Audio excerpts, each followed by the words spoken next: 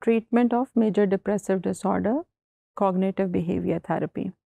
So now we will see that how we can use the cognitive behavior therapy in order to help the child who is expressing the feature of depression. So in uh, cognitive behavioral intervention जो है uh, उसमें आप uh, कई एक techniques जो हैं वो use कर सकते हो मगर मोस्ट कॉमनली टेक्निक्स जो हैं उनके मैं आपके साथ ज़िक्र करूँगी उसमें नंबर वन है साइको एजुकेशन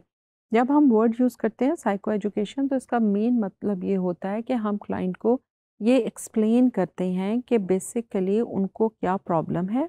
ठीक है? और उस प्रॉब्लम की ट्रीटमेंट हम सीबीटी के थ्रू कैसे करेंगे ठीक है? तो ये चीज़ हमने उनको साइको एजुकेशन के दरमियान बतानी होती है यानी कितनी दफ़ा उनको आना पड़ेगा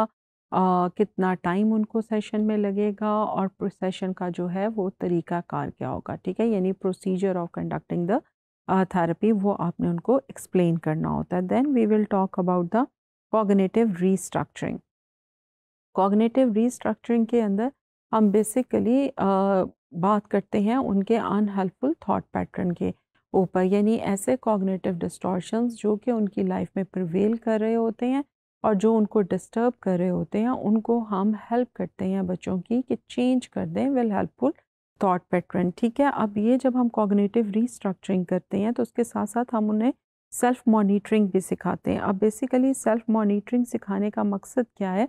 कि बच्चे को ये पता चल सके कि लाइफ में किस टाइम के ऊपर कौन से ऐसे इवेंट्स होते हैं जो उसको डिस्टर्ब करते हैं, ठीक है? तो उससे क्या होगा कि नेक्स्ट टाइम उसे क्यूज़ मिलना शुरू हो जाएँगे कि इस तरह का इवेंट होता है तो उसकी वजह से मैं डिस्टर्ब होता हूँ। फॉर एग्ज़ाम्पल अगर एक बच्चा है और वो ये कहता है कि मैं ट्रिप पे जाना मुझे पसंद नहीं है क्योंकि मुझे लगता है कि मैं बोर हूँगा और मेरी कंपनी नहीं होगी। ठीक है लेकिन अगर हम उसे मोटिवेट करते हैं और उसके लिए रिवॉर्ड कोई आ, रखते हैं कि अगर आप जाओगे तो आपको और से उसको कोई वीडियो गेम चाहिए तो हम आपको वो वीडियो गेम देंगे। तो वो बच्चा चला जाता है और जब वो जाता है और वो वहाँ पे जाके इंजॉय करता है तो वो इस चीज़ को अंडरस्टैंड कर लेता है या उसको इस चीज़ की इंसाइट डेवलप हो जाती है कि बेसिकली जो वो बैठ के सोच रहा था और जब उसने उसे किया तो उसमें डिफरेंस है, ठीक है? तो इस तरह की जो चीज़ें हैं, ये सेल्फ मॉनिटरिंग के थ्रू हम बच्चे के अंदर डेवलप कराते हैं। इसी तरह अगर बच्चा अपने आप को रेट कर रहा है फॉर एग्ज़ाम्पल कि I am a complete failure तो हम जब कॉग्नेटिव रीस्ट्रक्चरिंग उसके साथ करेंगे तो हम उसको ये चीज़ बताएँगे प्रॉपरली कि ये वो ग्लोबल रेटिंग कर रहा है which is the cognitive error यानी I am the complete failure क्या मतलब ये है कि मैं कुछ भी नहीं अच्छा कर सकता? तो हम उसको उसके लाइफ में से वो एविडेंसेस और वो अचीवमेंट्स उसकी बताएँगे जो कि उसने अच्छी की होंगी। तो दैट एक्सप्लेन हिम और हर सेल्फ कि वो जो है कॉग्नेटिव uh, एरर कर रहा है और किस तरह उस कॉग्नेटिव एरर को हम हेल्पफुल थॉट के अंदर चेंज कर सकते हैं बाय स्टेटिंग कि हाँ मैं बहुत सी चीज़ें अच्छी करता रहा हूँ, ये एक चीज़ मैं नहीं कर सका, लेकिन मैं दोबारा उसके लिए कोशिश कर सकता हूँ। और after that we will ask the mood यानी उसका मूड जो है, अगर पहले सैड था या डिप्रेस था तो उसके अंदर इम्प्रूवमेंट आई है या नहीं आई? तो इस तरह जो है, हम कॉग्नेटिव रिस्ट्रक्चरिंग बच्चे के साथ हेल्प करते हैं। Then the problem solving problem solving करना क्यों इंपॉर्टेंट है?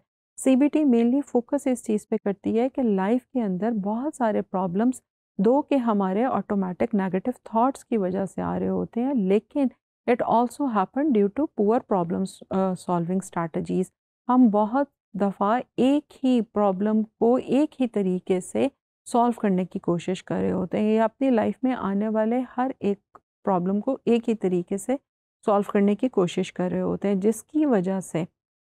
हमारी मल्टीपल प्रॉब्लम्स हल नहीं हो रही होती। तो इसलिए सबसे पहले ये बहुत ज़्यादा इंपॉर्टेंट है कि हम उस प्रॉब्लम को अंडरस्टैंड करें आइडेंटिफाई करें, उसके पॉसिबल सॉल्यूशंस को फाइंड आउट करें, फिर उसमें से देखें कि कौन सा ऐसा सोल्यूशन है जो हमारे लिए वर्कआउट कर सकता है। हम उसमें से बेस्ट सोल्यूशन को ऑप्ट करें और उसे ट्राई करें। अगर वो वर्कआउट हो जाए वेल एंड गुड ना हो then we will move towards the next solution और इस तरह करके हम आखिर में जो हमारे पास सोल्यूशन आए, जिससे हमारी प्रॉब्लम सॉल्व हो सके तो हम ये रिवाइज़ करें उससे और फिर देखें कि आइंदा जो हमें प्रॉब्लम्स होंगी, क्या हम उनके लिए ये स्ट्रैटेजी यूज़ कर सकते हैं और we need another strategy so main कहने का मकसद इसमें ये है कि प्रॉब्लम को सॉल्व करने का एक तरीका नहीं होता मल्टीपल वेज होते हैं and we need to be identify those multiple ways तो ये चीज़ आपने बच्चे को सिखानी होती है ताकि उसकी प्रॉब्लम सॉल्विंग जो है वो बेटर हो सके